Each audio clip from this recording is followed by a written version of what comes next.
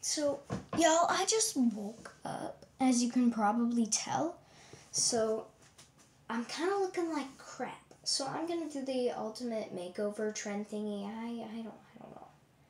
Okay, so we are going to start with brushing my hair and then tying it back. Okay, now my hair is tied back, and now I can start with changing my shirt. Now I'm gonna do some blush.